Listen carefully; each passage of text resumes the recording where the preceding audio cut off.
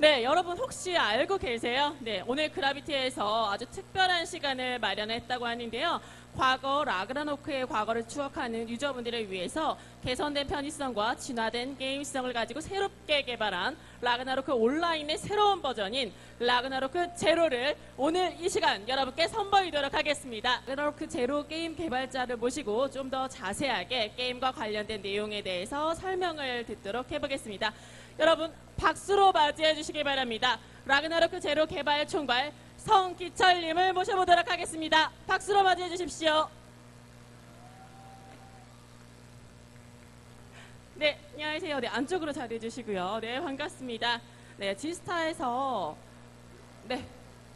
지스타에서 많은 유저분들을 만나시게 돼서 조금은 좀 떨리시지 않으세요? 자기소개 한번 부탁드릴게요. 네, 이런 또 큰 무대에서 라그나로크 유저분들을 만나게 돼서 정말 많이 떨리게 떨리고 있습니다. 네, 라그나로크 개발을 총괄하고 있는 성기철이라고 합니다. 어, 이렇게 또 그 기다려주신 유저분들 너무 감사드리고요. 어, 지금 라그나로크에 30% 경험치 버프를 적용하도록 하겠습니다. 감사합니다. 네, 자기소개 잘 들었습니다. 네. 오늘 준비된 첫 번째 순서로 라그나로크 제로 개발 총괄 성기철님의 발표 시간을 먼저 갖도록 하겠습니다. 네, 발표 부탁드립니다.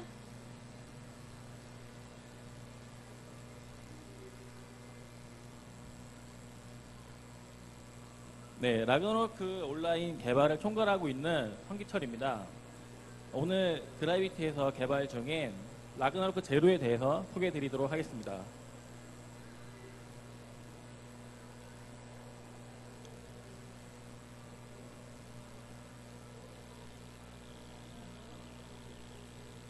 네, 라그나로크 제로는 라그나로크의 과거를 추억하시는 유저 여러분들을 위해 준비한 라그나로크 온라인의 새로운 버전입니다.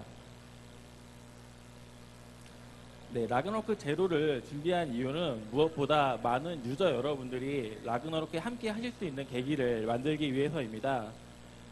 저희는 라그나로크가 10년, 100년 더 오랫동안 서비스하는 것이 목적입니다.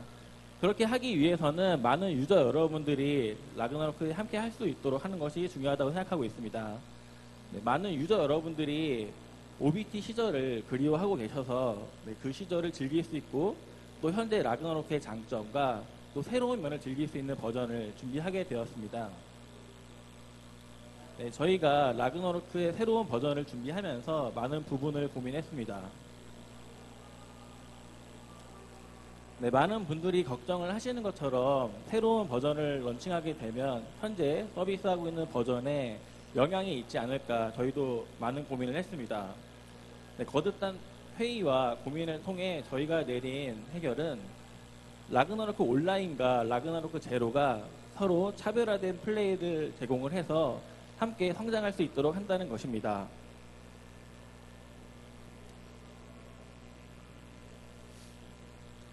네, 라그나로크 제로는 과거 즐기셨던 것처럼 다양한 사냥터에서 많은 유저들과 함께 플레이를 하실 수 있습니다. 라그나로크 온라인은 빠른 레벨업과 다양한 직업, 메모리얼 던전, 다양한 콘텐츠를 플레이하실 수 있습니다. 저희는 해외에서도 리스타트라는 라그나로크의 과거를 즐길 수 있는 버전을 런칭했습니다. 해당 런칭 결과 라그나로크 온라인과 리스타트 모두 유저 여러분들이 증가하는 긍정적인 효과가 있었습니다.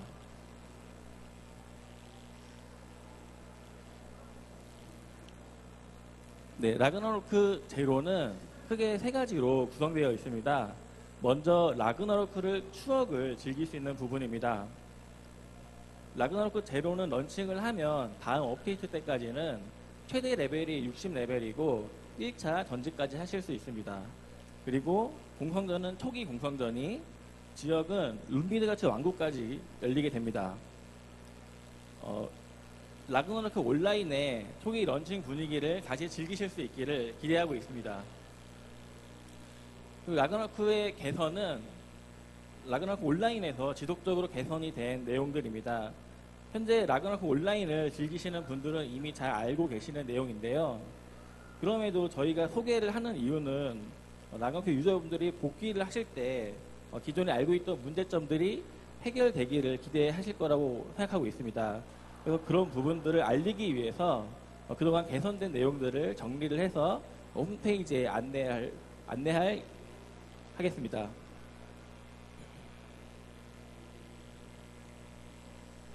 그리고 단지 과거를 즐기는 것이 아니라 라그나로크의 새로운 모습도 즐길 수 있도록 준비해야 된다고 생각을 했습니다.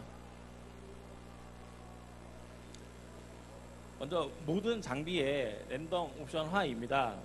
라그나로크 제로에서는 장비의 옵션이 다양하게 부여가 됩니다. 사냥을 통해서 보다 다양한 장비를 획득할 수 있고 사냥을 하면서 자연스럽게 다음 사냥터로 이동을 하실 수가 있습니다. 또한 랜덤 장비가 생성될 때 부여되는 옵션의 개수에 따라서 이펙트가 다양하게 표시가 됩니다. 사냥을 통해서 아이템을 수집하는 재미를 더욱 느끼실 수 있을 걸로 기대하고 있습니다. 그리고 다이나믹 필드입니다. 다이나믹 필드는 유저가 필드에서 행동하는 것에 따라서 다시 유저에게 반응을 하는 시스템입니다. 특정 몬스터를 죽였다거나 필드 곳곳에 숨겨진 장치들을 발견을 하면 반응을 하는 것을 보시게 될 겁니다. 룬미드가츠 대륙 곳곳에 숨겨진 다양한 비밀을 발견하는 재미를 느끼실 걸로 기대하고 있습니다.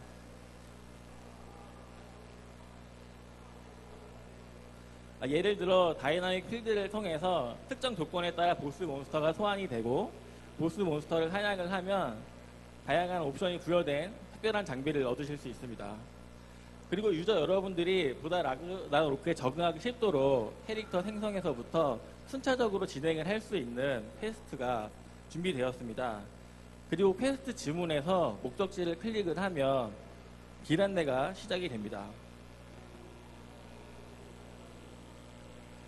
네, 내비게이션 시스템을 보다 리뉴얼을 해, 어, 개편을 해서 직관적으로 이용을 하실 수 있도록 했습니다. 어, 이미 라그나로크 온라인에 준비된 내용들인데요. 이런 다양한 개선 내용들이 홈페이지에 안내가 됩니다.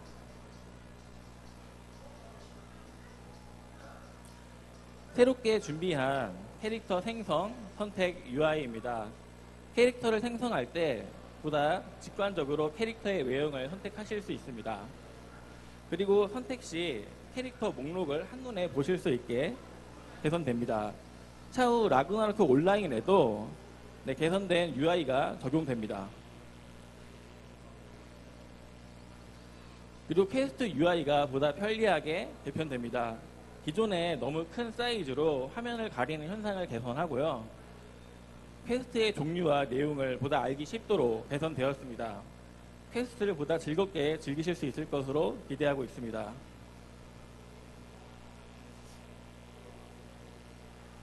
네, 그리고 캐시샵을 보다 쉽게 이용하실 수 있도록 네, 개편이 되었습니다. 네, 라그나로크 제로의 업데이트 계획입니다. 라그나로크 제로는 1년 동안 순차적으로 업데이트를 해서 현재 라그나로크 온라인의 컨텐츠까지 업데이트할 기본적인 계획을 가지고 있습니다. 하지만 저희는 무엇보다 유저 여러분의 희망을 최대한 반영을 해서 업데이트를 한다는 것이 더 중요하다고 생각하고 있습니다. 그래서 유저 여러분들이 희망하시는 내용을 최대한 반영을 해서 업데이트 속도와 내용을 적용할 수 있도록 지속적으로 유저 여러분들과 오프라인 행사를 통해 만나도록 하겠습니다. 런칭 한 달 후 다음 업데이트가 진행할 예정에 있습니다. 다음 업데이트 시에는 99레벨 2-1차, 2-2차 직업이 적용됩니다. 그리고 아루나펠츠와 슈발츠발드 지역이 공개가 되어 보다 많은 콘텐츠를 즐기실 수 있도록 업데이트될 예정에 있습니다. 라그나로크 온라인은 에피소드 17.1과 태권 상위 직업 성제가 2018년도 상반기에 업데이트될 예정입니다. 다음 유저 행사에서는 보다 자세한 업데이트에 대한 내용을 안내하도록 하겠습니다.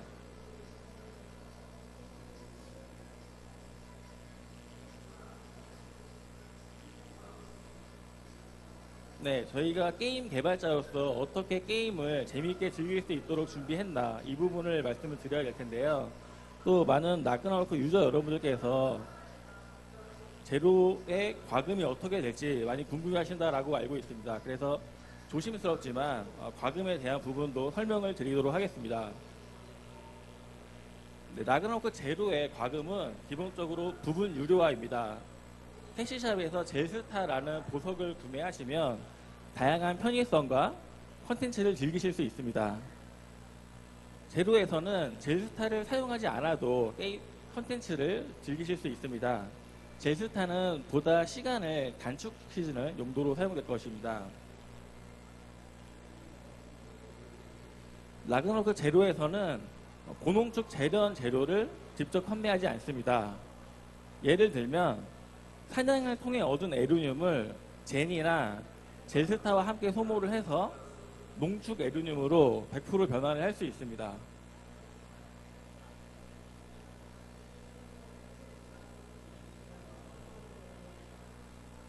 네, 못생긴 얼굴이 나와서 죄송합니다. 네.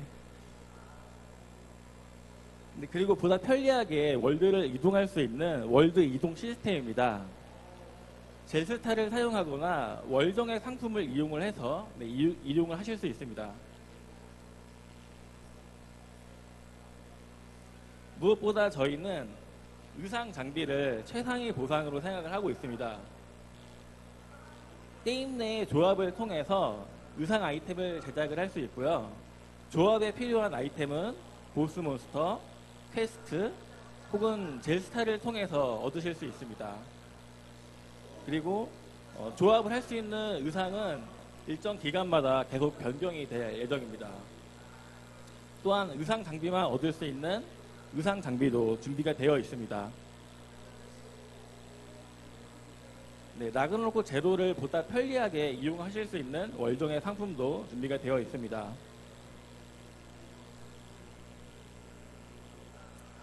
네, 무엇보다 가장 중요한 것이 운영이라고 생각합니다. 또한 많은 유저 여러분들께서 라그노르크의 운영을 어, 걱정하고 우려하신다고 알고 있습니다. 저희는 라그노르크 유저 여러분들을 위한 운영과 개발을 하는 것이 목표입니다. 네, 2016년 이후 저희는 개발을 하기 전에 개발자 노트를 통해서 유저 여러분들에게 개발 내용에 대한 사전 공지를 하고 유저 여러분들의 반응에 따라서 개발을 진행했습니다. 또한 온라인에서만이 아니라 오프라인에서 지속적으로 유저 여러분들을 만나 의견을 만나서 들었습니다. 그래서 유저 여러분들과 함께 다양한 문제점을 개선을 하고 제니 인플레이션 해결, 이그드라실 서버 통합과 같은 서버를 성과를 이루었습니다. 저희는 유저 여러분과 함께 이러한 성과를 이루었다는 점이 매우 자랑스럽게 생각하고 있습니다. 앞으로도 더욱 유저 여러분과 함께 소통하면서 유저 여러분이 원하는 라그너로크를 운영할 것을 약속드리겠습니다. 네, 라그너로크 제로는 다음 주부터 공개 테스트를 시작할 예정입니다. 현재 어, 라그너로크 유저분들께서 좀 혼란을 겪고 있는 상황인데요. 이런 상황을 빠르게 정리하기 위해서 어, 보다 빠르게 런칭을 할 계획을 가지고 있습니다.